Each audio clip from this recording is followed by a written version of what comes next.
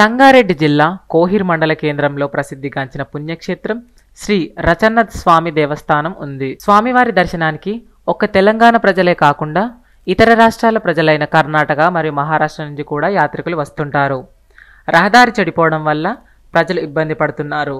ఉన్నతాధికారులు స్పందించి రోడ్డు బాగు చేయవలసిందిగా ప్రజలు కోరుతున్నారు.